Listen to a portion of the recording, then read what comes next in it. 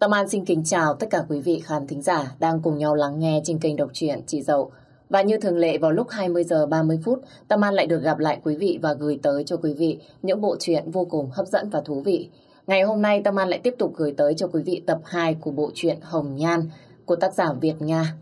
Quý vị và các bạn thân mến, sau khi chúng ta lắng nghe tập 1 xong rồi, thì Tâm An cảm thấy rất là buồn cho cuộc đời của Lê.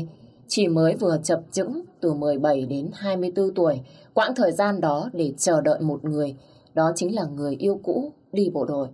Nhưng mối tình này sẽ không trọn vẹn, bởi vì ngày hôm nay cô gái tên Lê của chúng ta sẽ đi lấy chồng, và người chồng lại không phải là thân, người yêu của cô. Chuyện gì xảy ra vậy? Vì những lá thư thất lạc mà hai người đã không thể đến được với nhau. Chúng ta sẽ cùng nhau lắng nghe tập 2 ngày hôm nay để biết thêm nhiều tình tiết thú vị quý vị nhé.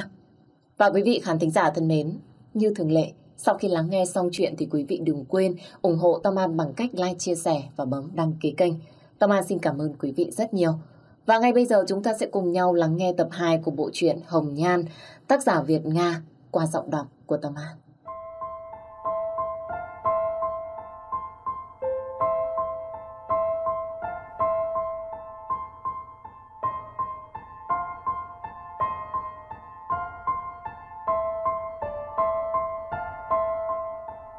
Rồi mấy ngày Tết cũng qua đi. Mùa xuân năm Bính Dần là năm mà Lê không thể nào quên được. Miền Bắc vẫn đang tích cực tăng gia sản xuất để làm hậu phương vững chắc cho tiền tuyến miền Nam. Thành niên các nơi vẫn hô vang khẩu hiệu, ba sẵn sàng, và phụ nữ thì dương cao ngọn cờ, ba đảm đang. Quê hương Lê vẫn tất bật mọi thứ, nào gạo, muối và các nhu yếu phẩm để truyền vào tiền tuyến. Những chiếc xe Jin 130 chờ đầy hàng lần lượt đi từ xã này sang xã kia để nhận đồ tiếp tế. Thì thoảng mấy anh bộ đội lái xe lại ngó cổ để trêu mấy cô thôn nữa. Này các em ơi, anh chuẩn bị vào tiền tuyến rồi đây. Em nào có người yêu, viết thư nhanh lên, anh gửi đi cho. Em à, em có, anh gửi hộ em với. Nhưng mà bom đạn dày đặc thế này, bộ đội thì di chuyển liên tục, anh tìm làm sao được người yêu của em ạ?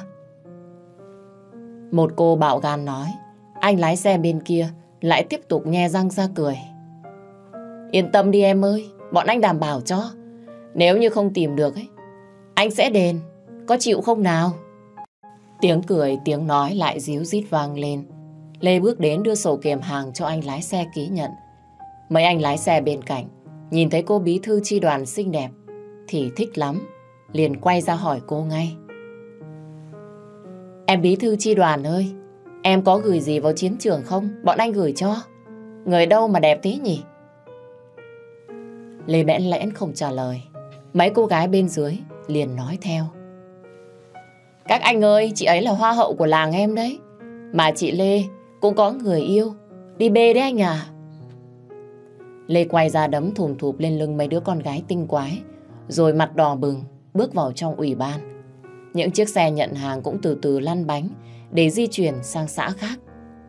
Ngồi một mình trong phòng, Lê lại dằn vặt lương tâm khi không biết quyết định của mình đúng hay là sai. Thôi, thì đành phó mặc cho số phận. Cô thầm nhủ trong lòng. Thân ơi, em xin lỗi. Ba ngày sau đó, tin Lê, bông hoa đồng nội đẹp nhất của xã Nhị Hà sắp lấy chồng đã làm ầm lên khắp làng trên xóm dưới. Mà người mừng nhất khi nhận được tin này không ai khác, chính là Tân. Trong khi Lê đang tất bật tranh thủ những lúc rảnh rỗi để đi mời đám cưới, thì Tân lại háo hức lấy giấy bút ra viết thư. Lá thư rất dày, nó như một bản báo cáo kể tội Lê, chứ không hẳn là một bức thư thăm hỏi tình cảm đúng nghĩa. Và khi viết xong lá thư dài bốn tờ phi đúp, Tần nhét tất cả vào một phong bì tự chế. Bên ngoài nắn nót những dòng chữ. Thân gửi anh Lê Thân, hòm thư 3NB, khe xanh hướng hóa Quảng Trị. Người gửi, em gái phương xa. Sau đó Tân nhanh chóng đạp xe lên biêu điện thành phố Việt Trì, cách đó tận 7 km để gửi thư. Trong lòng bồi hồi sao xuyến khi tưởng tượng đến gương mặt của thân nhận được bức thư này. Cuối thư cô ta còn tinh quái, để lại họ tên và địa chỉ của mình để thân có thể hồi âm. Kế hoạch chia rẽ đôi bạn trẻ được cô ta vạch ra một cách hết sức hoàn hảo. Bởi vì so với Lê, cô ta tuy xấu hơn rất nhiều nhưng bù lại cô ta lại có một cái đầu tinh quái. Vì trình độ học vấn lớp 10 hơn rất nhiều so với Lê, chỉ học hết lớp 3 trường làng. Đúng là chiến tranh đã khiến cho nhiều lứa đôi phải chia ly, nhiều mối tình chắc trở. Nếu đủ thông minh và lòng kiên trì, người ta sẽ chiến thắng. Nhưng một khi có kẻ bên cạnh dùng kế tiểu nhân dở trò bẩn, thì mối tình ấy mãi mãi bị chia cắt, giống như Lê và Thân vậy. Tại khe xanh lúc này, đơn vị thân và những đơn vị bạn đang giành giật từng tất đất thiêng liêng với kẻ thù.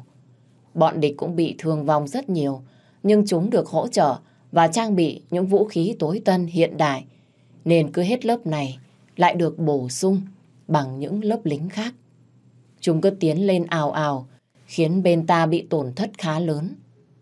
Nằm trong hầm chỉ huy, thân vắt tay lên chán suy nghĩ.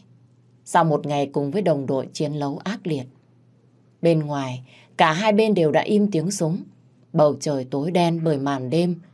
Thì thoảng, những quả pháo sáng được phóng lên không trung, soi rõ những gì bên dưới. Chỉ là một quang cảnh tiêu điều, đổ nát thê lương. Lúc này, thần lại nghĩ đến Lê với một nỗi buồn và tiếc nuối khôn nguôi. Thế là sau bao nhiêu ngày mong mỏi, anh cũng có tin của cô. Nhưng tin này đến với anh như xét đánh ngang tai. Lê chuẩn bị lấy chồng và người báo tin không ai khác, chính là Tân, dì ruột của Lê. Sau bao nhiêu ngày mong mỏi, cuối cùng anh cũng có thư khi mà cậu liên lạc của tiểu đoàn chạy đến hồ hời nói với anh. Dạ, báo cáo chính trị viên. Anh có thư à? Đưa đây cho tôi. Cậu làm tôi giật hết cả mình. Đòn lấy lá thư từ tay cậu liên lạc. Anh run lên khi nhìn vào nét chữ quen thuộc trên bì thư. Đó chính là nét chữ của Tân. Vì anh biết Lê viết xấu nên hay nhờ Tân viết phong bì. Vui lắm vì lâu lắm mới nhận được thư của người yêu. Nhưng tự dưng tim của anh đập thình thịch, bàn tay run rẩy khi mở phong thư. là thư rất dày, và khi nhận ra nét chữ trong thư vẫn là của Tân, thì anh lại linh cảm một điều gì đó không hay, khiến cho anh hoảng hốt. Đọc những dòng chữ của Tân, anh như đứt đi từng khúc ruột. Anh đau đớn nhận ra mình đã mất Lê mãi mãi. Theo những gì trong thư Tân nói, thì đúng rồi, hôm nay chính là ngày Lê sẽ lên xe hoa về nhà chồng. Buồn và đau cho bản thân, nhưng anh không dám trách Lê, mặc dù trong thư Tân kể và ghi rất rõ sự thay đổi của Lê trong suốt mấy năm qua. Cũng đúng thôi, con gái có thì mà anh cứ biền biệt ngoài chiến trường như vậy, thử hỏi làm sao mà Lê chờ được. Trong khi cô lại không được sự hậu thuẫn của gia đình. Tất cả là tại chiến tranh. Chiến tranh đã phá hoại mọi thứ. Hơn ai hết, anh là người căm thù chiến tranh nhất. Chính bọn chúng, những kẻ đã gieo rắc những cái chết cho người dân Việt Nam, đã lấy đi của anh cái thứ mà anh quý hơn cả mạng sống của mình. Đó chính là tình yêu. Lê bây giờ không còn là của anh nữa. Từ đây ván đã đóng thuyền, anh mãi mãi là kẻ bước đi bên lề cuộc đời của cô ấy. Không biết từ lúc nào, những giọt nước mắt nóng hổi rơi xuống bàn tay cầm súng chai sạn của anh. Nhẹ nhàng lấy khăn bùi xoa luôn bên cạnh mình, khẽ thấm đi những dòng nước mắt. Ở nơi bom rơi lửa đạn thế này, ngày ngày phải chứng kiến những cái chết của đồng đội. Thậm chí có người bạn đã ra đi trên tay của anh. Nhưng mà nỗi đau đó, nó không khiến cho anh rơi nước mắt như lúc này. Thế là hết, mọi thứ tan tành thành mây khói. Bao nhiêu dự định ấp ủ, bao nhiêu mơ ước về một nhà chung với người vợ Thảo Hiền và những đứa trẻ được hai người dệt theo đã không bao giờ thực hiện được nữa. Anh mãi mãi mất cô. Lê không còn là của anh nữa rồi.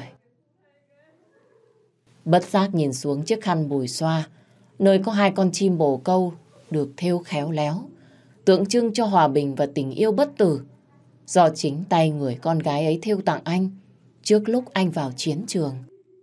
Bỗng nhiên anh chợt nhớ tới lời một vài người đã nói với anh. Nhưng lúc đó anh không tin vì cho rằng đó chỉ là mê tín. Nhiều người cho rằng khi xa cách, những đôi lứa yêu nhau không nên tặng đối phương khăn bồi xoa và áo. Vì người ta cho rằng tặng mùi xoa thì cuộc tình ấy sẽ không đi đến đâu, chỉ nhuốm đầy nước mắt. Chiếc khăn vì vậy chỉ dùng để lau nước mắt mà thôi. Còn áo cũng không nên tặng, vì được quan niệm rằng áo tượng trưng cho sự thay lòng đổi giả. Nên đôi khi không dám tặng nhau những vật dụng như thế này. Ngày mai là ngày cưới của Lê. Chiều nay trong nhà, ngoài sân, khách đã đông nườm nượp.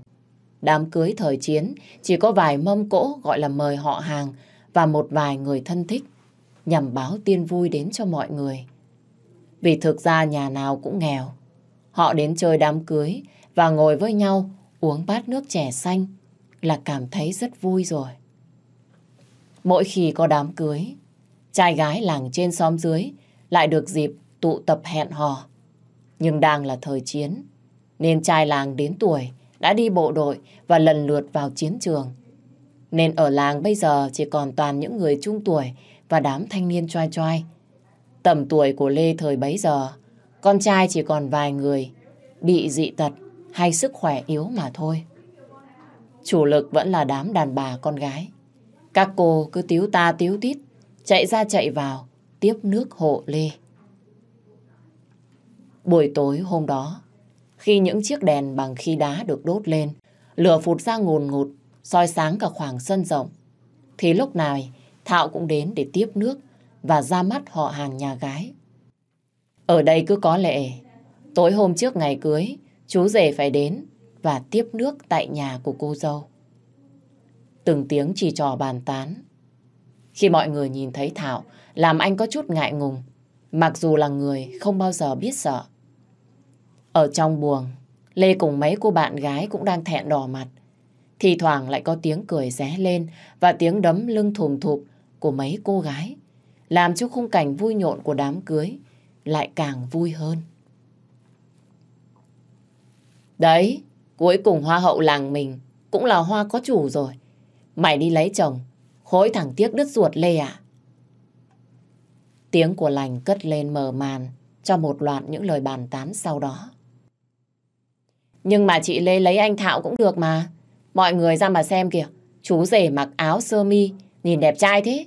Mỗi tội hơi thấp bé. Ừ, hơn cái anh Thuận mà ngày trước chị Lê yêu nhỉ. Cái con này vô duyên thế. Tự dưng nhắc đến anh Thuận ở đây. Từ bây giờ, cấm nghe chưa? Cô gái kia lỡ mồm. Cũng cảm thấy mình hơi lố. Nên im bặt sau câu nói đó. Rồi nhanh chóng lùi ra ngoài. Lê nghe xong lại thoáng buồn khi nghĩ tới thân. Bởi vì cô mới biết, trong sâu thẳm tâm hồn của cô, cô còn yêu anh nhiều lắm. Nhưng biết làm sao được đây? Phận làm con phải biết nghe lời cha mẹ. Mà tư tưởng cha mẹ đặt đâu con ngồi đó đang còn ăn sâu vào tiềm thức những người dân nơi đây. Mà thời đó hình như ở đâu cũng như vậy. Con gái đến tuổi gà chồng thì cha mẹ là người quyết định mối nhân duyên của con gái. Không ai được phép cãi lời. Tư tưởng phong kiến vẫn còn thâm, nên đại đa số các gia đình miền Bắc lại càng ra trường và đều như vậy. Cô cũng 24 tuổi rồi, ở tuổi này mà chưa có chồng, nếu như không xinh đẹp thì đều bị coi là ế. Sáng hôm sau đúng 11 giờ, tiếng pháo nổ giòn tan ngoài đầu ngõ. Xác pháo hồng báo hiệu nhà trai đã đến đón dâu. Một đoàn người rất dài, đi theo các ông chú, bà bác phía sau, lần lượt len chân vào nhà gái. Thạo nổi bật nhất trong đám thanh niên làng, bởi vì ngoài đẹp trai thư sinh, mặc dù anh chỉ hơi nhỏ nhắn, anh mặc cái áo sơ mi trắng sơ vin với quần Âu. Ở cái thời đó, như vậy là oách lắm rồi. Anh phải tiết kiệm mấy tháng mới mua được nó đấy. Sau khi làm thủ tục xin dâu hoàn tất, Lê e thẹn bước ra từ cửa buồng, trong tay của ông Tuân. Bao tiếng trầm trồ suýt xoa được cất lên, làm cho cô đỏ mặt ngượng nghịu. Hôm nay Lê mặc một chiếc áo sơ mi trắng, và một chiếc quần lụa đen. Mái tóc được cô tết cẩn thận, thả dài sau lưng, càng làm tôn vẻ đẹp ngọt ngào của cô thôn nữa. Ngước lên nhìn mọi người, cô cất tiếng chào họ nhà trai, rồi miệng nở một nụ cười, khoe ra hàm răng, trắng tinh và đều tăm tắp. Này này, con bé Lê nhà ông Tuân sinh nhỉ các bà, nó phải sinh nhất cái vùng này đấy chứ. Công nhận anh Thạo nhà mình có con mắt tinh đời, lấy được chị Lê là nhất. Bà phải thừa nhận, chị Lê quá đẹp, mặt trái xoan má hồng, môi đỏ da trắng, dáng lại cao nữa chứ. Những tiếng suýt xoa cứ mỗi ngày một nhiều khi thấy Lê được bố dẫn đến bàn thờ, vái lạy tổ tiên để về nhà chồng. Ngày đó chưa có thủ tục, chú rể vái bàn thờ nhà cô dâu nên toàn bộ nhà trai cứ ngồi ở ngoài, ăn trầu và uống nước chờ đợi. Khi thắp hương vái lạy ra tiên xong, Lê mới òa khóc trong vòng tay của mẹ. Cô cứ khóc mãi không thôi. Khi nghĩ tới đây, mình sẽ không còn được ở nhà, phải xa cha mẹ và các em để đến sống ở một gia đình khác. Cô cảm động, tuổi thân mà nước mắt cứ giàn rùa. Mẹ cô vỗ vỗ vào lưng của cô an ủi. Nín đi con, hai làng cũng gần nhau, thì thoảng lại về chơi với thầy U với các em. Nín đi con à. Các cụ vẫn có cái câu, khóc như thiếu nữ vui ngày cưới, quả là không sai. Các cô gái đi lấy chồng giống như một bông hoa đến kỳ. Hoa thì phải nở thôi. Nhưng mà cô gái nào trước khi bước chân rời khỏi nhà cũng đều có điều vương vấn, nhớ nhung với ngôi nhà đã từng gắn bó với mình suốt hơn 20 năm trời. Phải xa bố mẹ, xa các anh chị em trong nhà là cái điều mà các cô gái nào đều phải trải qua và rơi lệ trong ngày cưới. Với Lê nó còn chất chứa bao nhiêu nỗi niềm mà cô không thể nào gọi tên. Vậy là từ nay cô chính thức làm dâu nhà người ta, là vợ của Thảo. Đồng nghĩa với việc cô phải quên hết, đoạn tuyệt hết với quá khứ xưa cũ của thời con gái. Cô tập làm quên và sẽ quen đi một người đàn ông bên cạnh mình. Đó chính là Thảo, chứ không phải là thân. Trong đầu của Lê vang lên những câu thơ buồn, giống như nỗi lòng của cô hiện tại. Có một thời em tha thiết yêu anh, coi cuộc sống chỉ mình anh là đủ. Nay với em thời ấy là xưa cũ, bởi có một điều không thể phải không anh. Đám rước dâu của Lê có lẽ là đông nhất trong tất cả các đám cưới từ trước tới nay. Bạn bè của cô và của Thảo đến chia vui rất đông. Quà cưới của họ cũng đa dạng không kém. Thời đấy người ta mừng cưới nhau toàn bằng hiện vật hữu dụng và thiết thực trong cuộc sống. Nên sau đám cưới cả hai thu về bao nhiêu là bát đĩa, nồi niêu song chảo, xô chậu chăn màn và cả quần áo sơ sinh để mong cho đôi uyên ương sớm có con bồng cháu bé. Bà Thảo rất vui và Thảo cũng vậy cưới được một người con gái như Lê mà anh đã bao lần ao ước. Nhà Thảo ở bên trong con đê, nơi chả bao giờ biết đến chuyện nước ngập. Khác với bên ngoài đê là thôn đông nhà Lê. Cái xóm ven sông Hồng đò quạch phù sa, năm nào cũng phải chống chọi với lũ lụt. Nước ngập vào tầm tháng 6 tháng 7, mà người ta hay gọi là tháng mưa ngâu. Về nhà Thảo làm dâu, Lê chỉ việc hầu hạ bố mẹ chồng, chứ không có anh em gì, vì Thảo là con một. Bố anh, ông Thế là một người đàn ông, có dáng người song sòng, khoảng ngoài 50 tuổi. Còn mẹ anh là bà Hà, cũng sắp xỉ 50. Mới đầu thì cô thấy ông bố chồng này có vẻ khó tính, còn bà Hà lại là người dễ tính. Mặc dù mới nhìn, ai cứ tưởng rằng bà ấy mới là người khó tính, bởi vì cái dáng người thấp bé, sở hữu cái chán rô và hàm răng vâu và cái miệng rộng nên hơi khó có thiện cảm. Nhưng rồi mọi việc cũng không có gì là khó khăn đối với cô cả. Sau khi cưới vợ, thảo được nghỉ phép đúng 2 tuần mới phải lên cơ quan. Cả tối nay mấy thằng bạn ở quê rủ thảo ra ngoài tán phét. Ngoài bờ hồ đã có mấy thanh niên ngồi sẵn ở đó. Cả bọn bao gồm Kiên Lác, Hào Gù, Bầy Búa và Thảo lại ngồi ôn lại chuyện ngày xưa. Trong bọn họ chỉ có mỗi Hào gù là chưa có vợ. Có lẽ mặc cảm với cái lưng gù của mình mà Hào khép mình lại, không dám tư tưởng đến ai. Kiên lác quay sang, nói với Thảo. Mày là thơm nhất nhóm đấy, tự dưng lại lấy được em Lê. Có dùng chiêu trò gì không mà hay thế? Chiêu trò gì? Chúng mày không thấy. Tao đi tới đâu là gái chết tới đó à?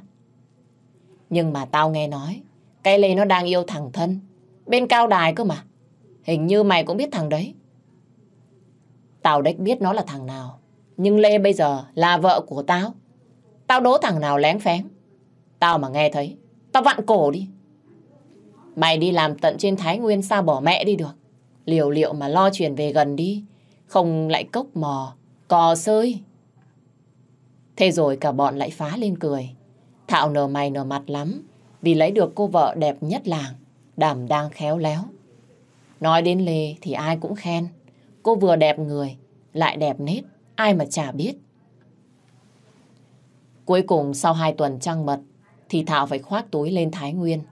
Phải chia tay người vợ trẻ, anh lưu luyến lắm, cứ cấn cá mãi chưa chịu đi. Thay thế, mẹ anh mới nói. Nhiệm vụ là trên hết. Thôi đi đi con, rồi khi nào được nghỉ thì về. Cái Lê ở nhà có mẹ rồi. Cứ yên tâm.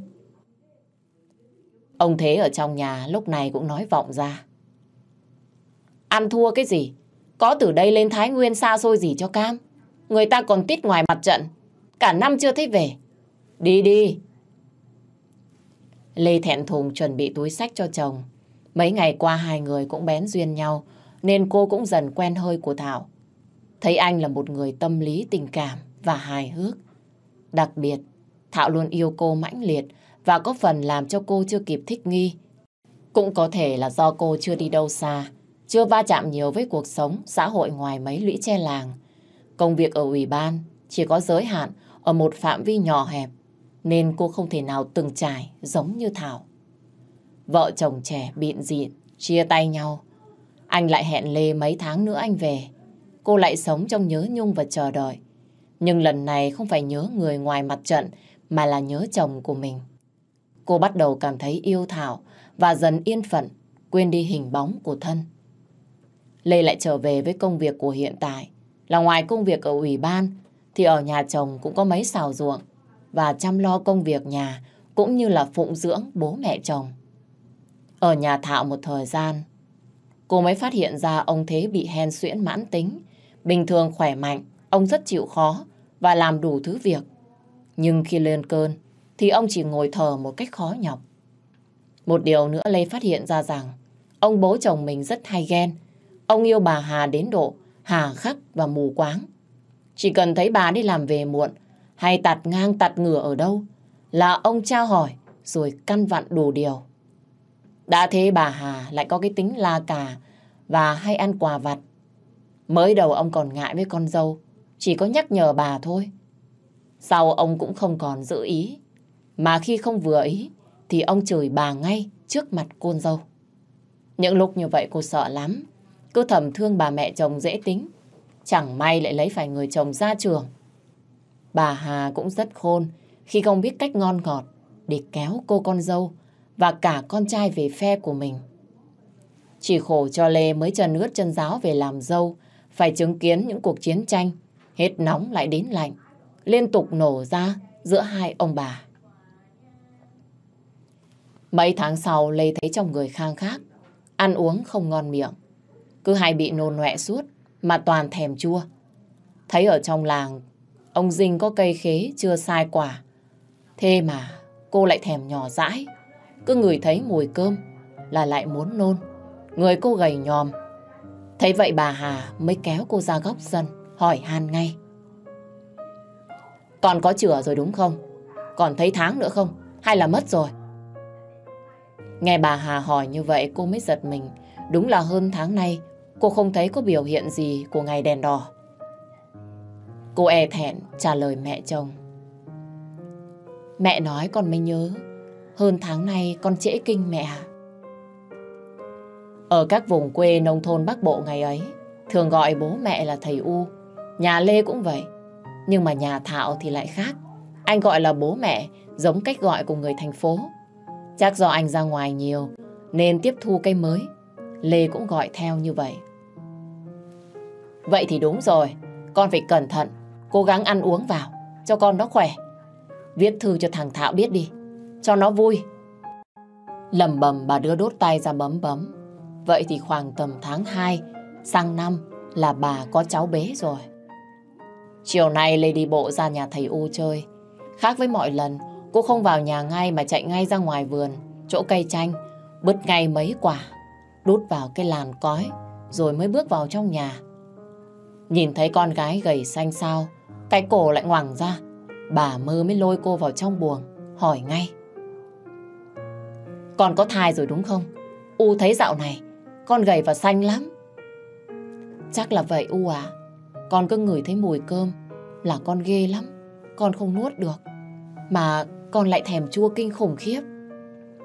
Thế thì ngén nặng rồi. Mà thèm chua thì chắc chắn là con gái.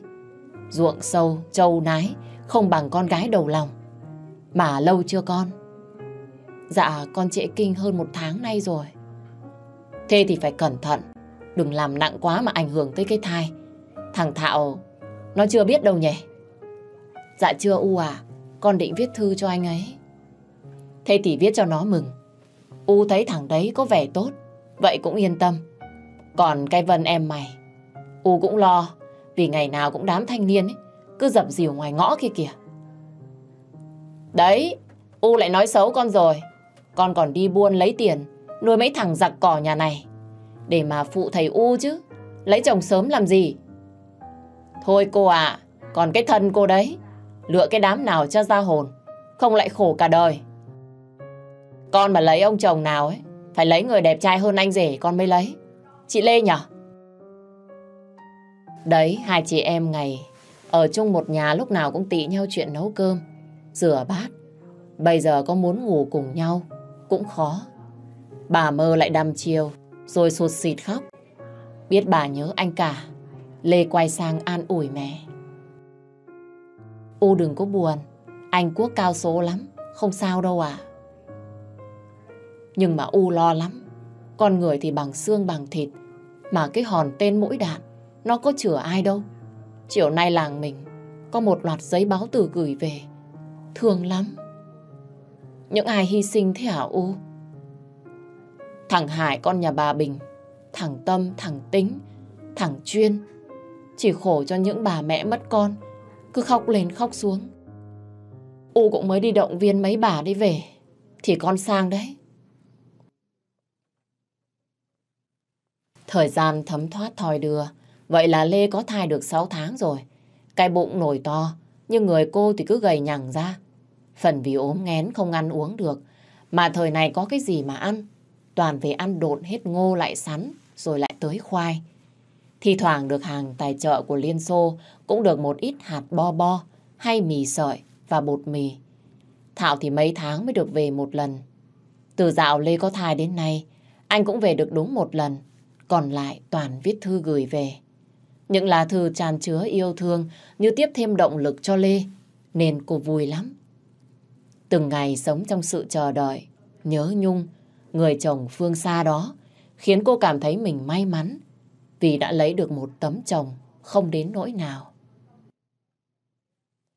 Hôm nay bà Thu đi chợ, loáng thoáng nhìn thấy Lê tay xách cái làn cói, đang mua rau đằng sau. Nhìn thấy cái bụng nhô cao của cô, bà biết rằng cô đã có em bé. Thầm tiếc trong lòng, bà lại nghĩ, nếu như không có chiến tranh, thì biết đâu Lê đã là con dâu của mình, chứ không phải là con dâu nhà bà Hà. Nghĩ mà thương cho thân. Đến tận bây giờ, anh chưa biết con bé đi lấy chồng. Bà đã thống nhất với gia đình là không được ai nói chuyện này cho thân biết. Vì chợ đông nên Lê không nhìn thấy bà. Một chút ngại ngùng xuất hiện. Cô lúc này lại nhìn thấy bà và cất tiếng chào hỏi ngay. Cháu chào bác. Bác đi chợ à? Lê đây à? Khỏe không cháu? Dạ cháu vẫn bình thường. Bà Hà đúng là tốt phước, lấy được cháu về làm dâu. Chỉ tiếc cho nhà bác. Cháu xin lỗi, cháu có lỗi với anh thân. Mong bác thông cảm cho cháu. Cháu không có lỗi gì hết. Tiếc là chúng mày có duyên mà không có phận. Ai, tất cả ấy là tại chiến tranh mà ra. Bà và Lê bước đi theo hai hướng khác nhau. Cả hai đều không biết rằng những giọt lệ đã lăn dài trên khóe mắt của hai người đàn bà ở hai thế hệ. Mỗi người một nỗi niềm, một nỗi tiếc nuối và chăn trở. Chiều nay Tài sang nhà chị gái chơi, thấy chị đang có thai, cậu vui lắm. Cậu ấp ủ ý định nhập ngũ vào năm tới. Lần này kiểu gì, cậu phải đi bằng mọi cách.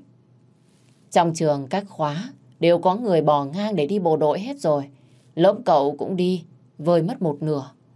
Ngồi trong lớp mà tin về chiến sự, về những trận đánh lầy lừa của quân dân ta, mà chữ nghĩa trong đầu của cậu thanh niên mới lớn, như trôi hết cả. Đúng là lý tưởng ăn sâu vào tiềm thức mất rồi. Sinh ra trong một gia đình có truyền thống yêu nước, thì làm sao mà cậu ngồi yên được chứ? Cứ suy nghĩ miên man, cậu bước chân đến nhà chị gái từ bao giờ. Thấy chị đang quét sân, cậu bước nhanh vào, giật lấy cái chổi từ tay của chị mà làm nốt phần việc còn lại. Tính cậu vốn ít nói, nhưng mà cậu thương chị lắm. Hôm nay không phải lao động trên trường à, mà tại sao lại vào đây chơi với chị? Bọn em đào hầm xong rồi, đợt tới chắc phải đến lao động ở xã khác chị ạ. Mà chị lần này em phải đi bộ đội đấy. Nhìn bạn bè tòng quân hết rồi, nóng người, không chịu được. Thầy U có đồng ý cho em đi không? Chị chỉ lo thầy không đồng ý thôi. Chị cứ yên tâm đi, lần này thầy đồng ý cho em đi rồi. Tuần tới em đi khám sức khỏe. Mọi lần ấy, thầy chưa cho em đi là vì muốn cho em học xong cấp 3 để lấy cái bằng. Sau này có cái nghề cho đỡ khổ. Nhưng giờ các trường đều thống nhất đặt cách cấp bằng cho những học sinh đi bộ đội rồi. Với lại giải phóng đất nước, em về học lại đại học. Đã muộn đâu. Ừ, thế cũng được. Em đi để làm gương cho các em sau này. Em sẽ sung phong vào chiến trường B. Em sẽ gặp anh thân. Nghe như vậy, một nét trùng xuống trên khuôn mặt xinh đẹp. Lê tiếp tục nói. Chiến trường rộng lớn, biết anh ấy ở đâu mà tìm. Em nghe tin anh ấy đang ở Đà Nẵng thì phải. Chị có lỗi về anh ấy quá. Chị không chờ được. Thôi, chiến tranh mà chị. Chắc anh thân không trách chị đâu. Nếu gặp ấy, em sẽ nói với anh ấy. Ở một nơi khác, Tân đang ngồi gò lưng bên ngọn đèn dầu. Cô đang viết thư cho thân. Lần này cô lại thông báo cho anh biết tin rằng Lê đã có thai. Rằng vợ chồng Lê yêu thương nhau lắm. Cô phải đánh cú quyết định, phải làm cho anh ấy quên hẳn Lê đi. Anh ấy phải là của cô, bằng mọi giá anh ấy phải là của cô. Những kế hoạch lại được vạch ra trong đầu người con gái đầy mưu mô xảo quyệt. Mở nhẹ cái hòm gỗ ra, nhìn thấy cả mấy chục lá thư mà thân viết cho Lê. Lòng của Tân đau nhói, ghen tức. Nhiều lúc nhìn thấy Lê, cô chỉ muốn la vào cắn xé Lê, cho hà lòng hà giận. Nó có tất cả, sắc đẹp công việc, lại có người yêu rất đẹp trai, lại còn được rất nhiều người yêu mến. Còn cô, cô có cái gì? Chả có gì. Tay của cô trống trơn, ngày ngày lẻ loi đi về một bóng. Chưa có một cuộc tình, chưa có một lời tán tỉnh gọi là cho có. Tại sao lại thế? Tại sao nó có tất cả, còn cô thì không? Trong khi gia đình cô có điều kiện hơn, học thức của cô cao hơn nó. Ông trời, có bất công quá không? Cũng may con bé cháu họ trời đánh. Đã đi lấy chồng rồi. Chứ không nó sẽ là người hại chết cô. Cô sẽ chết vì tức giận. Tết năm đấy rét lắm. Trời lại mưa phùn gió bấc. Mà dạo này thì thoảng lên xã, cô lại thấy radio đưa tin chiến sự trong miền Nam. Vẫn còn ác liệt lắm. Quân đội Mỹ vẫn vận chuyển ồ ạt vũ khí trang bị, hỏng leo thang chiến tranh. Quân ta cũng hy sinh nhiều lắm. Nghe tin đợt tới sẽ là đợt tổng động viên và nổi dậy của quân dân cả nước. Quyết sát cánh cùng với đồng bào miền Nam ruột thịt. Và Tài, em trai của cô, cũng có tên trong danh sách đợt tổng động viên lần này. Những thanh niên 17-18 đều được xung quân hết. Cầu mong cho chiến tranh qua mau Trước cái tình hình này, e rằng còn người nữa đâu mà bổ sung. Mà cái bọn giặc Mỹ, nó lại được hậu thuẫn từ các đồng minh và được trang bị bằng những vũ khí tối tân, hiện đại. Trong khi Việt Nam mình còn lạc hậu lắm, đánh Mỹ bằng cuộc chiến, nhân dân chả có nhiều vũ khí gì. Nhưng mà cũng may, mình được hỗ trợ từ Liên Xô, Cuba và một số nước xã hội chủ nghĩa. Nhưng nếu cứ kéo dài, thì tổn thất là điều không thể nào tránh khỏi. Mùng năm Tết mùa xuân năm 1975, trong cái rét cắt da cắt thịt, những chiếc xe thùng chờ những chiến sĩ đi đến các đơn vị huấn luyện để chuẩn bị tung vào chiến trường. Trên chiếc xe thùng thứ tư, Tài cùng với những chiến sĩ mới đang giơ tay cao, vẫy chào người ở lại. Bên dưới các mẹ, các chị, mắt ai cũng ngấn lệ. Nước mắt cứ chảy tràn trên những khuôn mặt khắc khổ. Lê Vân và mẹ cô cũng đang trong đám đông đó. Cả biển người ào ào ra tiễn đưa các anh. Bà mơ khóc mãi không thôi, nắm chặt tay đứa con trai thứ hai, chuẩn bị vào chiến trường. Bà vừa khóc vừa nói. Con đi chân cứng đá mềm, nhanh nhanh về với U con nhé. Rồi sau đó bà òa khóc, những tiếng khóc thút thít của những người phụ nữ quê mùa như tiếp thêm sức mạnh cho các anh. Tiếng mưa vẫn tí tách, rơi xuống, hòa vào tiếng dặn dò và những giọt nước mắt tiễn đưa của những con người trên đường bảo vệ Tổ quốc. Nó đã trở thành một bản hùng cao hoành tráng, một bức tranh sống động về lòng tự hào dân tộc. Một đất nước nhỏ bé, nhưng lại khiến cả thế giới biết đến với sự đoàn kết gắn bó và quyết tâm chiến thắng kẻ thù.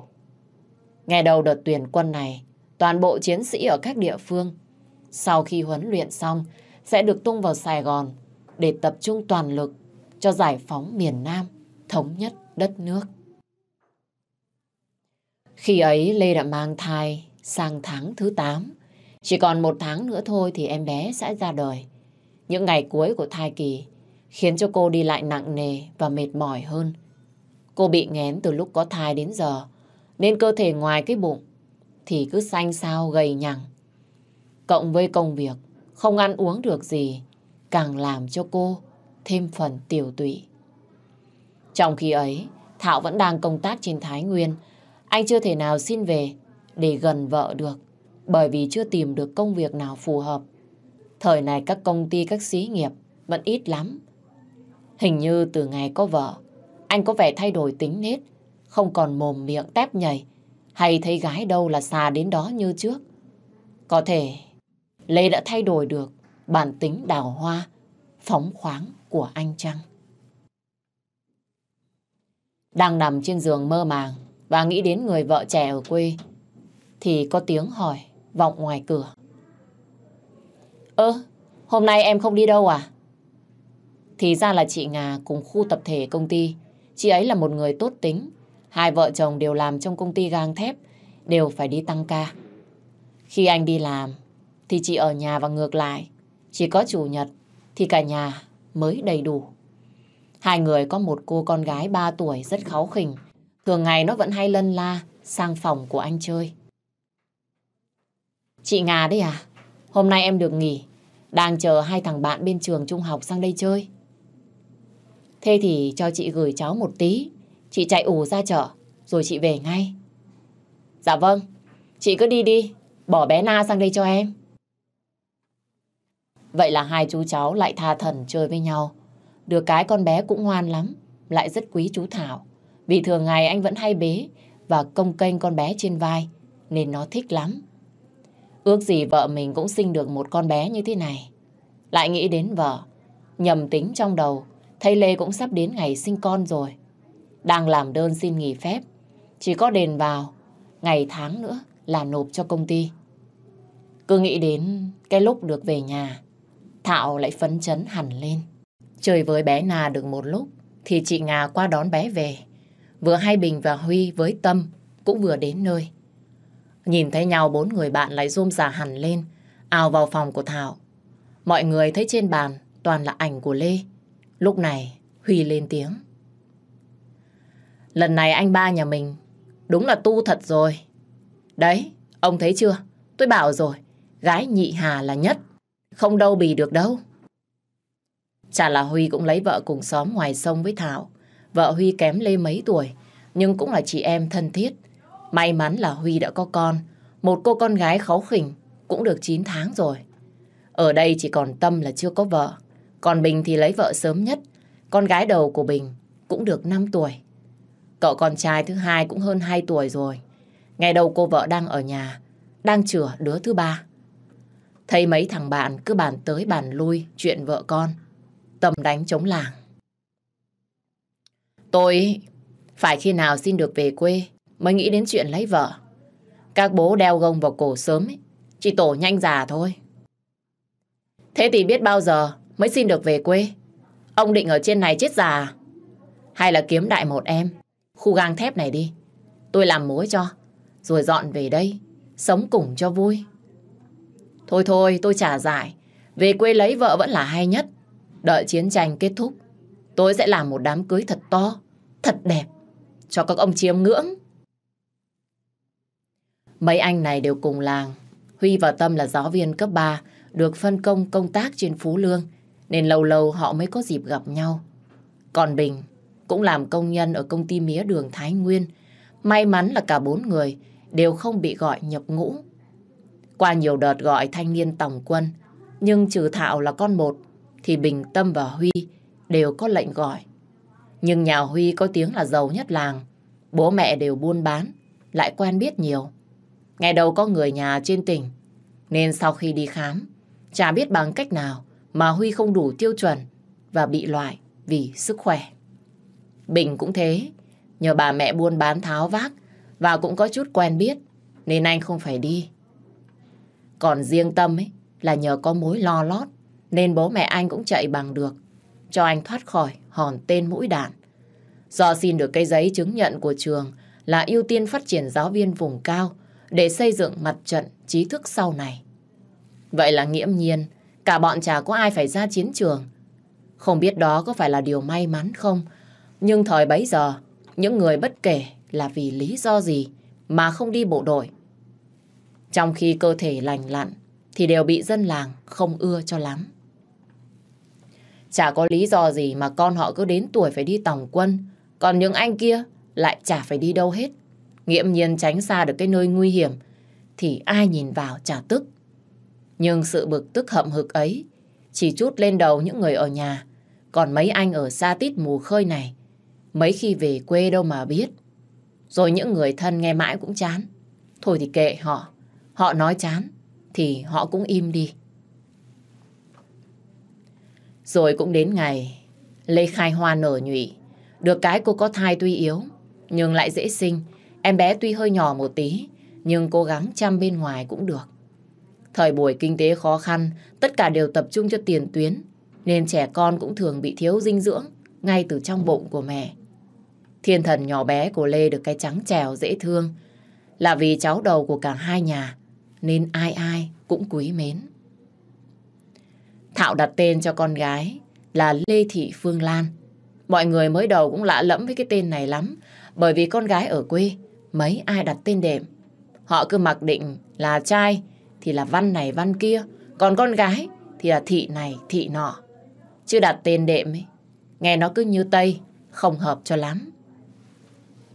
Ngay cả khi ra xã làm giấy khai sinh, mà anh cán bộ hộ tịch cứ hỏi đi hỏi lại là Thảo có nhầm lẫn không. Nhưng Thảo nhất định phải đặt bằng được cái tên này, không có thị thiếc gì hết. Ra khỏi ủy ban xã, anh không biết đằng sau, tay cán bộ hộ tịch đang còn lầm bầm. Cái bọn này lạ thật, Tây trả ra Tây, ta trả ra ta. Cả xã có mỗi hai nhà đặt tên con gái có tên đệm. Anh này nhớ cũng đúng thôi, bởi vì trước Thảo chỉ có Huy là đặt tên con gái đầu lòng, Nguyễn Thị Mai Thảo. Đúng là trả ra làm sao, nhưng con họ thì họ đặt, ai có cấm được chứ. Chỉ thấy nó hơi ngược đời một tí thôi. Thời ấy mọi suy nghĩ đơn giản lắm, tất cả đều tuân theo số đông. Lê sinh con, mẹ cô cũng vào đỡ đần và ngủ với con gái được mấy hôm, rồi bà phải xin phép về để lo nốt công việc đồng áng Được cái Vân em gái Lê cũng thay mẹ thường xuyên chạy vào cơm nước và giặt rũ cho chị. So về nhan sắc thì Vân không đẹp bằng Lê, nhưng cô cũng được liệt vào hạng sinh gái, nên cũng có rất nhiều anh nhòm ngó. Nhưng đến bây giờ, Vân vẫn chưa ưng ai. Năm nay thầy U rất vui vì gia đình có được hai đứa cháu nội ngoại đầy đủ. Anh trai cô là anh Quốc, cũng lấy vợ, và vợ anh cũng đang có thai. Chắc tầm tháng 10 năm nay cũng sinh em bé. Số anh Quốc vất vả, nên chính ra lấy chị vợ này là người thứ hai vì vốn anh đã lấy một người chị cùng làng, chị bằng tuổi của Lê. Nhưng chị này vốn không được đứng đắn cho lắm, nên trong khi anh cô còn đang ở ngoài mặt trận, thì chị ta ở nhà tằng tiệu với một anh, cũng có vợ có con đề huề, cùng xóm với cả Thảo. Cả nhà tính giấu Quốc, nhưng không biết thông tin ở đâu, cuối cùng cũng đến tai của anh. Trong một lần đơn vị cho về phép, anh đi tìm, gặp hẳn cái tên tình địch này, mong hắn buông tha vợ mình ra. Thậm chí anh còn đặt khẩu súng ngắn lên bàn trong lúc nói chuyện với hắn. Nhưng anh đi rồi, thì vợ anh ta, à ta vẫn tính nào tật đó. Mặc cho bố mẹ khuyên can và cũng được người chồng tha thứ. Nhưng mà Thoa không thể nào dứt ra được mối tình với tay kia mà càng ngày càng lún sâu hơn. Đã thế cô ta còn rất láo. Quốc còn nghe nói cô nàng dám cả gan đánh cả chị vợ của anh kia giữa đường. Ông Tuần nghe được, giận lắm. Nhưng là người biết trước biết sau, lại ra giáo, nên ông bà không mắng chửi gì Thoa. Chỉ có nhỏ to phân tích, khuyên can, mong cô thay đổi, kẻo lời ong tiếng ve mang tiếng đến cả nhà. Cô ta không những không nghe, mà còn tay đôi tay ngang cãi lại ông bà như chém trả. Rồi à ta đùng đùng, vác vali về nhà bố mẹ đẻ. Chuyện đã xảy ra như vậy, không thể nào cứu vãn được. Ông bà liền bảo Vân viết thư cho anh trai, kể hết sự tình. Đợi khi nào anh về, sẽ giải quyết. Quốc ở trong quan đội cũng làm chính trị viên của một đại đội, nên anh rất hiểu sự việc đã đến nước này, không thể nào níu kéo được.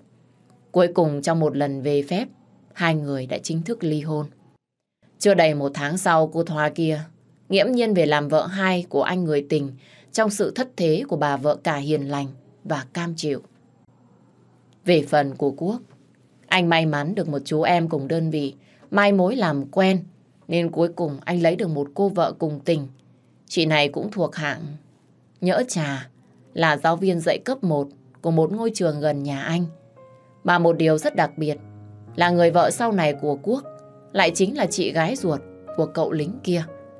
Đúng là điều gì cũng có thể xảy ra. Ông trời vốn dĩ không lấy hết của ai cái gì. Ngày bé Phương Lan được tròn một tháng rưỡi thì Sài Gòn giải phóng. Từ chiều đến giờ, loa phát thanh của xã phát liên tục về tin này. Ai ai cũng hân hoan phấn khởi. Vậy là cuối cùng cuộc chiến tranh phi nghĩa của đế quốc Mỹ đều phải thất bại. Việt Nam đã chiến thắng.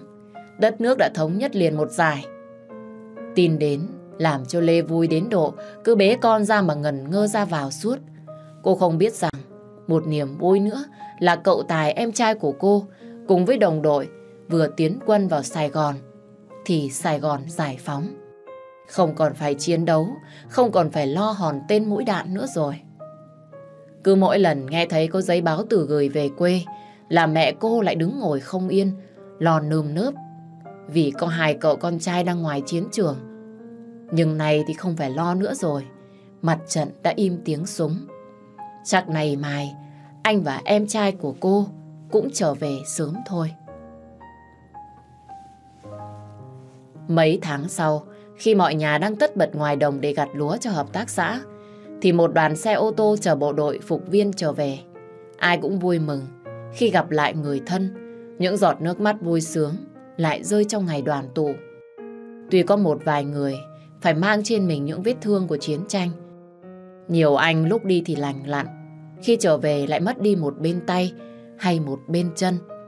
Nhưng gương mặt của họ đều ánh lên một nụ cười hạnh phúc. Trong đoàn người về quê hôm ấy có cả thân. May mắn là anh vẫn lành lặn, nguyên vẹn như ngày nào. Chỉ có điều thời gian mấy năm trời sông pha nơi chiến trận đã khiến cho anh già dặn hơn. Khoác triển mình bộ quân phục và chiếc ba lô sờn cũ và hai cái lốp xe đạp được phân phối. Anh nhẹ nhàng bước về nhà. Cảm giác thân quen lại ùa về, làm cho anh xúc động đến cay cay sống mũi. Chân của anh chợt khựng lại khi đặt chân lên xóm chùa. Nơi này chính là nơi Lê của anh đã về làm dâu.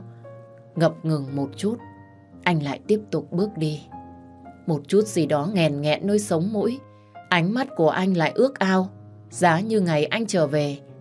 Người ra đón anh chính là Lê, thì anh sẽ hạnh phúc biết mấy. Khỏi nói thân về, bố mẹ của anh mừng đến mức nào, anh em họ hàng thi nhau đến chúc mừng. Ông chú quay sang hỏi thân. Lần này là về hẳn đúng không? Về còn cưới vợ đi, cho thầy U cháu mừng. Nhanh chân lên, không là bọn con gái nó đi lấy chồng hết. Để chú xem có mối nào không? Dạ, cháu chỉ về phép thôi. Cháu là sĩ quan, nên cuộc đời phải gắn liền với binh nghiệp ạ. Anh muốn làm thế nào thì làm. Nhưng nhất quyết ấy, phải cưới cho chúng tôi một cô con dâu.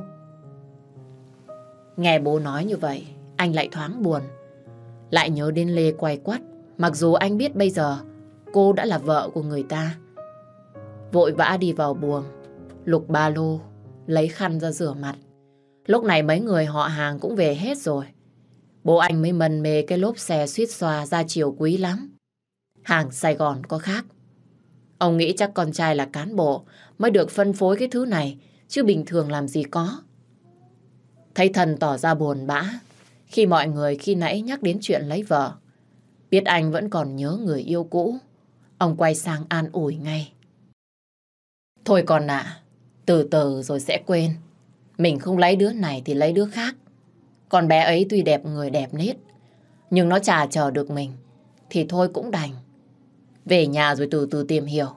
Lấy mấy đứa ít tuổi hơn một chút cũng được. Con bé này thì đẹp đấy. Nhưng tôi không thích cái nhà đấy cho lắm. Nhà mình mà đi làm thông gia với nhà lão Tuần đấy à? U, U nói thế là thế nào à? Nhà bác ấy gia giáo, bản thân bác ấy từng là thầy dạy học cho cả làng hai U nói gì?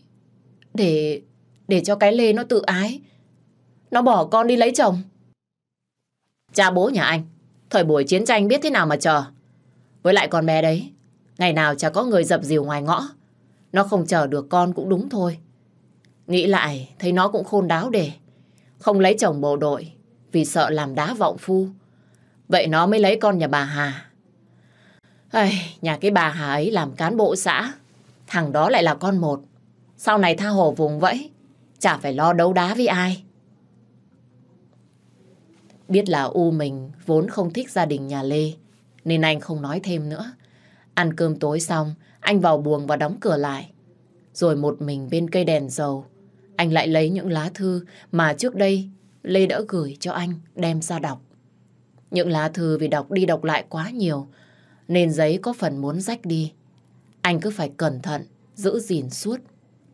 Lê là người học hành hạn chế, chữ của cô không đẹp, nhưng từng lời cô viết trong thư là cả một bầu trời thương nhớ. Anh đã thuộc lầu những câu từ như một thói quen. Cứ mỗi khi nhớ Lê, anh lại lấy thư ra đọc. Xong đâu đấy lại cẩn thận, cất vào một chiếc hộp gỗ nhỏ nhắn. Số thư anh nhận được của Lê trong suốt 7 năm trời quân ngũ chỉ vẻn vẹn chưa đầy chục lá. Nhưng anh lại xem, đó là cả một báu vật. Tiến đến cái ba lô anh lôi một chiếc khăn van, một lọ nước hoa và một con búp bê rất xinh xắn ra ngắm nghía. Mấy thứ này anh đã cất công tìm mua tại một quầy hàng ở Sài Gòn. Chiếc khăn van này và lọ nước hoa này anh mua để tặng cho Lê. Còn con búp bê sẽ dành tặng cho con gái của cô. Sở dĩ anh biết Lê sinh con gái là do Tân viết thư thông báo. Định bộ ngày mai, anh sẽ vào thăm Lê. Dù anh cũng muốn được nhìn thấy cô một lần để xem cuộc sống mới của cô ra sao. Cô có hạnh phúc hay không? Hôm nay dưới quê nhà bà Hà có dỗ. Là dỗ bố bà Hà, nên ông bà đã đưa nhau về quê từ sớm. Vậy nên Lê phải xin nghỉ một ngày để ở nhà trông con. Đang chơi với Lan ở trên giường. Cô bé đang biết lật, nên cứ lật lên lại úp xuống, giống như con lật đật vậy. Lúc lật được thì cười tuét miệng, không lật được thì lại khóc ré lên, nhìn đến là buồn cười. Đang chăm chú nhìn con, thì tiếng chó lại sủa inh ỏi. Vừa hét chó, cô vừa bế con đi ra. Thì nhìn thấy trước mặt mình là một anh bộ đội, với dáng người cao cao, nước da trắng và khuôn mặt kia, làm cho cô sững sờ như không tin vào mắt của mình. Chính là thân. Thân lúc này lập cập bước tới. Bước chân của anh run rẩy khi nhìn thấy cô. Người anh yêu đây mà. Lúc này cô đang rất gần anh. Gần trong gang tấc mà như xa cách tận chân trời. Phía trước mặt, nước mắt của cô tuôn rơi, những giọt lệ cứ chảy tràn, ướt đẫm gương mặt xinh đẹp. Chiếc ly uống nước trên tay của cô rơi xuống đất vỡ tan, cánh tay buông thõng. Còn anh, anh đứng chết sững nhìn cô. Chợt có tiếng khóc trẻ con kêu lên, phá tan màn yên lặng. Lê chạy vội vào trong nhà. Khi đi ra trên tay cô là một cô bé gái dễ thương, bất giác anh cũng đưa tay lên khóe mắt. Từ đó giọt nước mắt cũng tan chảy đi. Đấy chính xác là giọt nước mắt hạnh phúc sau chuỗi ngày dài chờ đợi. Nhưng lúc này, nó lại mang một ý nghĩa khác. Bây giờ Lê mới cất giọng. Câu nói của cô như vỡ òa, kèm theo nước mắt vẫn không ngừng tuôn rơi. Câu hỏi như xé nát trái tim của anh. Trời ơi, tại sao bây giờ anh mới về? Em à, anh đã về. Nhưng muộn mất rồi đúng không em? Chiến tranh mà. Anh chỉ nói được có vậy thôi rồi im lặng. Như thấy được sự thất thố của mình nãy giờ, anh mới quay qua hỏi Lê. Thì được biết, cả nhà đã đi vắng. Chỉ còn có hai mẹ con cô ở nhà. Dẫn anh vào uống nước. Lúc này anh mới nhìn rõ mặt người yêu. Cay đắng quá. Giá như không có chiến tranh, giá như Lê vẫn là của anh, thì ngày trở về sẽ thật sự hạnh phúc. Nhưng nay, tất cả đã quá muộn màng.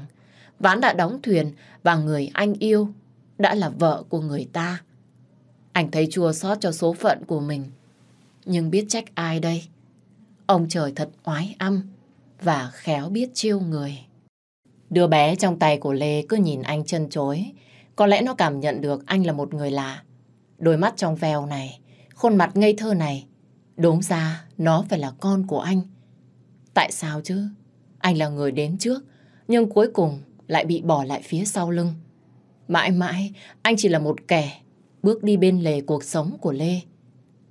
Nhìn Lê có hơi hao gầy, nhưng mà cô vẫn đẹp lạ lùng, khiến người ta đã nhìn cô một lần thì cứ muốn nhìn mãi. Nét đẹp mê hồn, như có sức cuốn hút người đối diện. Anh vẫn nhìn cô với ánh mắt chấp chứa yêu thương. Khẽ lấy trong túi sách ra mấy hộp sữa bò và một con búp bê xinh xắn. Anh chìa ra cho cô bé. Con gái dễ thương quá. Quà của con đây. Lê nhẹ nhàng đỡ lấy con búp bê từ tay của anh. Hai người chạm tay nhau. Lê vội vàng rút tay lại. Còn tim của cô lúc này nhói đau, bút giá. Thần định nắm lấy bàn tay của Lê. Nhưng thấy Lê rụt lại. Anh chợt nhận ra rằng vị thế của mình bây giờ đã khác. Bàn tay của anh buông thõng tiếc nuối. Vậy là anh đã mất cô thật rồi. Cô đã bước ra khỏi cuộc đời của anh.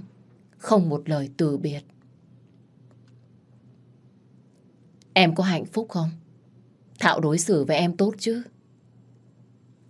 Không thấy Lê trả lời, nhưng miệng cô mỉm cười, mặc cho nước mắt đang rơi. Với anh chỉ cần biết như vậy là đủ. Người anh yêu hạnh phúc là anh vui rồi. Chỉ cầu mong cho nụ cười luôn nở trên môi của cô. Anh không cho phép bất cứ kẻ nào làm khổ Lê.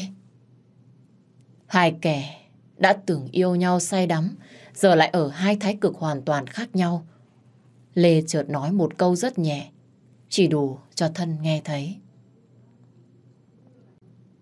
Hãy coi em là em gái nhé. Không, anh không thể coi em là em gái được. Cho dù không được gọi là chồng em, là bố của con em, thì cứ để đấy, để cho anh được nghĩ về em, nhớ về em trong hoài niệm cũng được. Em không bao giờ mất đi.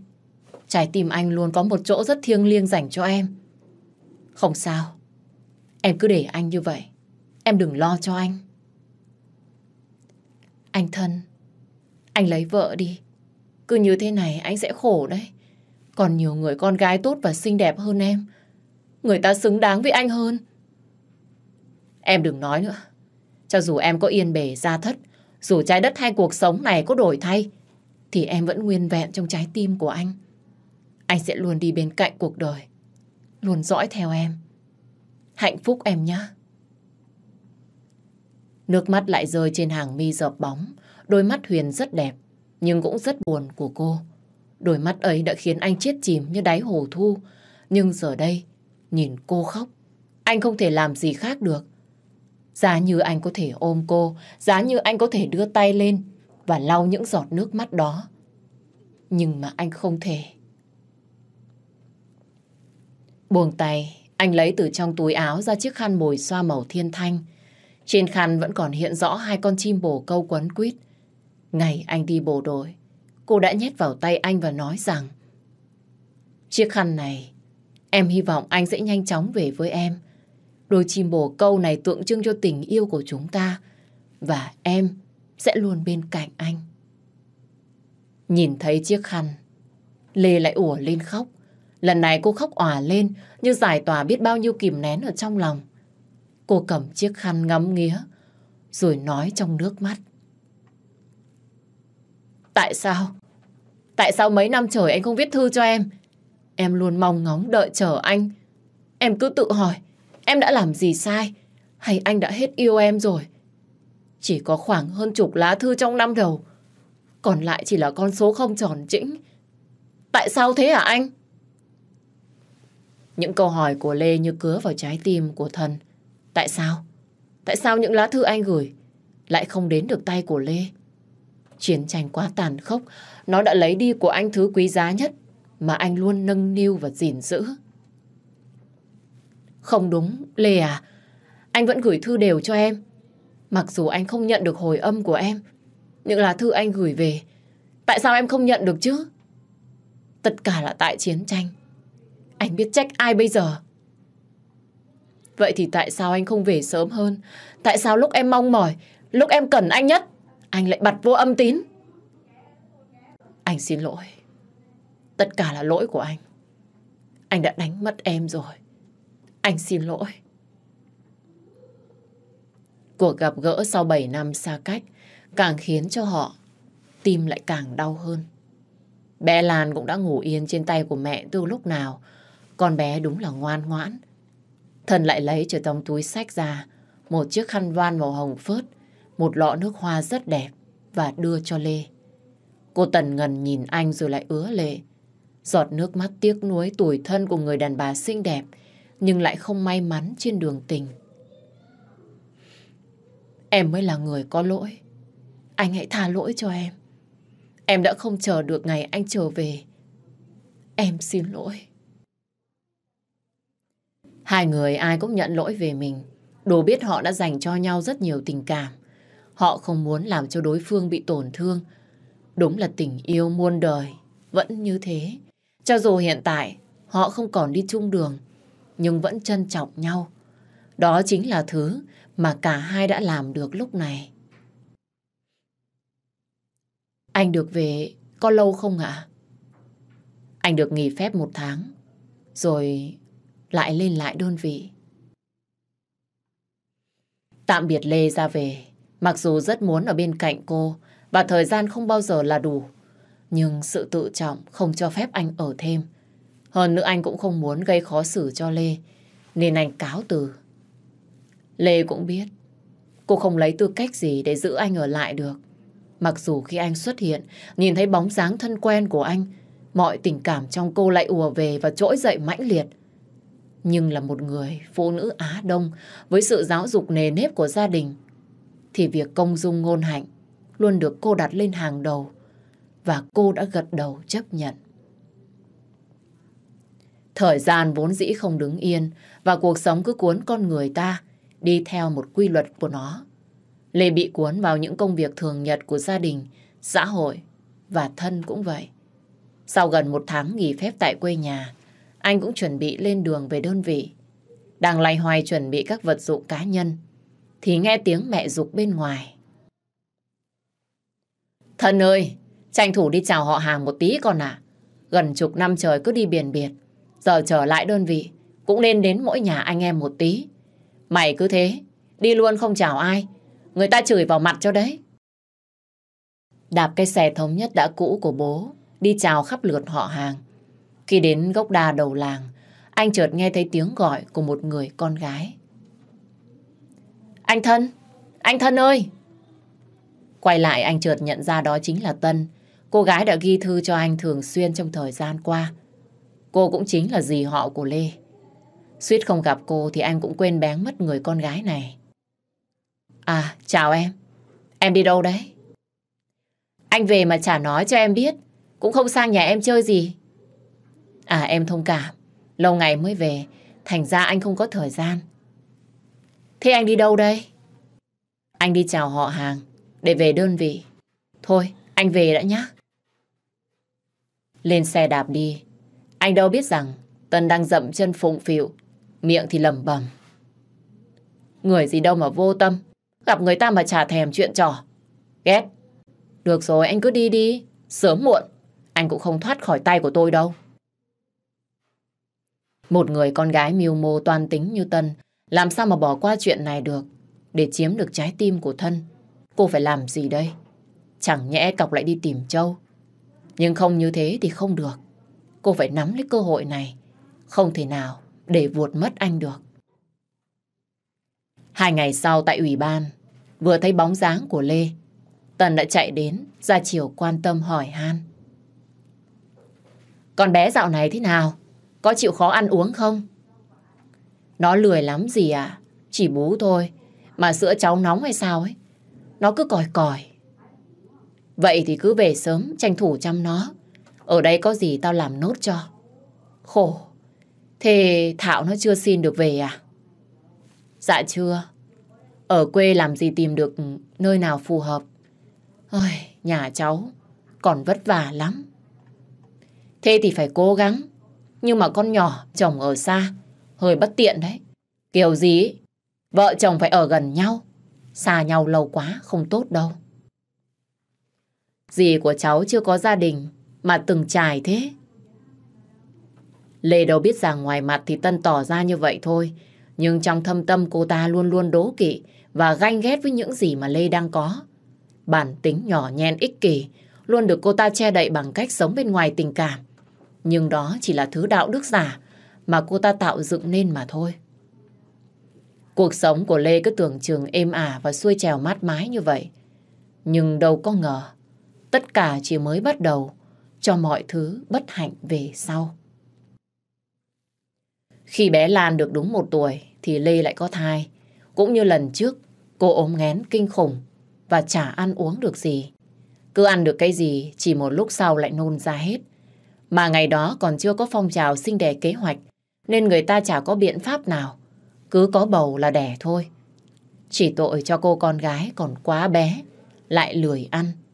Tuy ở cùng với bố mẹ chồng con bé cũng được ông bà nội bế ẵm nhưng như thế cũng là quá vất vả đối với một người phụ nữ có chồng công tác xa như cô. Thời đó kinh tế khó khăn lắm, nông nghiệp lại lạc hậu, nên nhà nào cũng đói ăn.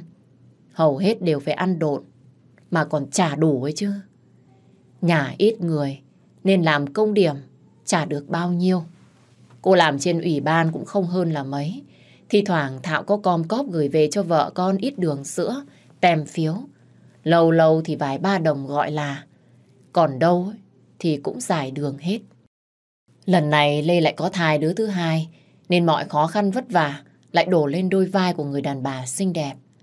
Đúng là các cụ xưa hay nói, phúc bất trùng lai, họa vô đơn chí. Ngay lúc này thì Lê lại nhận được tin hợp tác xã cho cô nghỉ việc vì con nhỏ không đảm nhiệm được công việc, đề nghị thay người khác. Vậy là lại gánh thêm nguy cơ thất nghiệp. Đến chết đói mất rồi. Lê thì xui xẻo như vậy. Nhưng mà Tân lại khác. Mặc dù đã ngoài 20 và chả có cái gì nổi trội. Nhưng Tân lại rất may mắn trong công việc. Chả là cô vốn học hết lớp 10, gia đình lại quen biết nhiều và có ông làm trong ngành ngân hàng.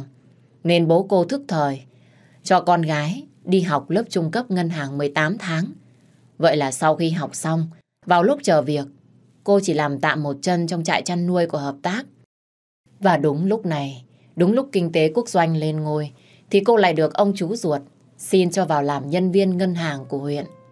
Đúng là mèo mù vớ cá rán. Cuộc đời của cô ta bắt đầu lên hương từ đây. Còn Lê, kể từ hôm nghỉ việc tại hợp tác xã, mặc dù cô đã chạy vậy mấy nơi quen để xin ở lại, nhưng vẫn không được. Mấy anh chủ tịch và bí thư trên ủy ban cũng rất quý và muốn giữ cô lại. Nhưng cơ cấu lại đòi hỏi người có trình độ. Nếu như nắm giữ cường vị trại trường, trại chăn nuôi như cô, phải có bằng tốt nghiệp cấp 3. Và bí thư chi đoàn thì trình độ học vấn phải ít nhất là hết cấp 2. Cả hai yếu tố này cô đều không có, nên mặc dù rất quý, họ không thể nào giữ cô lại được. Cái nghèo, cái khổ đã khiến cho cô phải nhường nhịn lại việc học hành cho các em. Và là chị cả, nên cô chỉ học hết lớp 3 thôi. Kiến thức cũng dần rơi rụng hết. Giờ Lê chỉ tính toán đơn giản, chứ cái gì mà liên quan đến thống kê sổ sách thì cô chịu thua. Một năm sau, lúc này thân được chuyển về công tác tại quân khu, cũng gần nhà nên tuần nào anh cũng về. Bố mẹ thấy yên ổn nên lại tiếp tục dục anh lấy vợ. Điều này làm cho anh ngại nhất. Ngó qua ngó lại, thấy mấy đứa con gái tầm tuổi hoặc kém tuổi của anh cũng có chồng, có con cả rồi. Giờ chỉ còn mấy cô kém anh khoảng 6-7 tuổi mà anh lại không ngó ngàng gì tới. Đang thơ thần ngoài cổng, chợt anh thấy bóng ai đó giống như bóng thằng Tình đi lại. Nó là thằng em họ ngày trước, cũng tán tỉnh Lê suốt. Nhưng thấy Lê yêu anh, đâm ra thủ tức.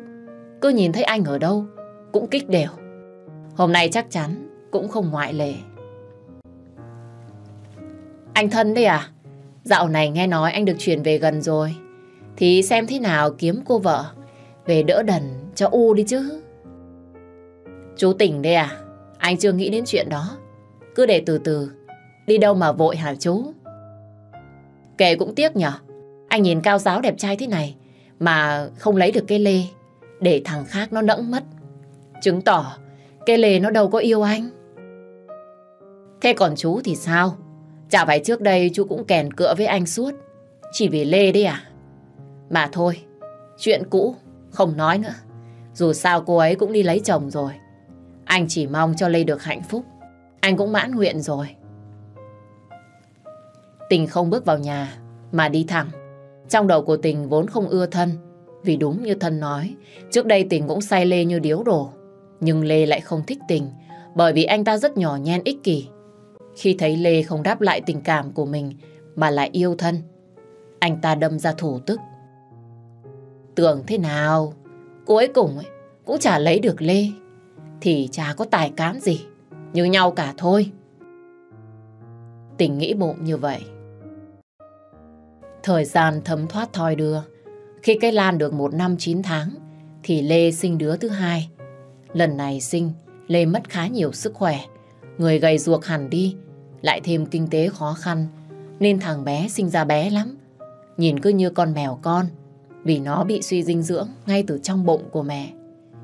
Hai tay hai đứa con nhèo nhóc, lại không được ăn uống đầy đủ, nên Lê rất gầy. Nhà chả có cái gì ăn. Ăn bậy bạ, có cái gì thì ăn cái đó. Có ngày không còn cọng rau nào, Lê phải ra đồng, bòn từng ngọn rau khoai tây để về nấu canh cùng với mấy quả cà chua. Chính thứ này đã khiến cho cô bị hậu sản và suýt thì mất mạng. Bố cô nghe tin con gái bị hậu sản sau sinh chưa đầy 3 tháng thì sợ lắm. Vào thăm, thầy Lê cứ ngày một gầy yếu xanh xao bên thằng con trai khát sữa, cứ oè oé khóc cả ngày. Ông nhìn như vậy cũng phải ứa nước mắt. Là đàn ông nhưng ông sâu sắc và chu đáo, khác hẳn với mẹ cô. Rất dễ tính, nhưng lại có phần hơi xuề xòa. Về nhà, ông nói ngay với bà về tình hình của Lê. Kiểu này tôi phải sang bên nhà Hà Tây, nhờ ông ghi thầy lang gì. Một chuyến bà, con Lê nhà mình nó bị hậu sản mòn rồi, không chữa ngay có khi mất mạng. Bà bảo xem có cái gì, đỡ cho con nó vài hôm. Khổ, chồng thì xa, một nách hai đứa con nhỏ. Thế là ngay chiều hôm đấy, ông Tuân tức tốc đi đò sang Sơn Tây để cắt thuốc cho con gái. Sang đến nơi thì chiều muộn, mò đến được nhà ông thầy lang thì trời cũng tối. May mắn ở đây toàn người thật thà tốt bụng, nên gia đình ông lang cứ giữ ông đến ngày mai mới được về, bởi vì sợ đêm hôm đi đò nguy hiểm. May nhờ có những thang thuốc gia truyền của thầy lang mát tay mà Lê được cứu kịp thời. May quá, mấy tháng này có bố kiên trì đi lấy thuốc, nên chứng hậu sản của cô cũng được chữa khỏi. Nhưng từ đó cứ nhìn thấy cà chua là cô sợ, không dám đụng đến. Ông Lang thấy ông Tuần lo cho con gái quá, cũng lấy làm cảm động.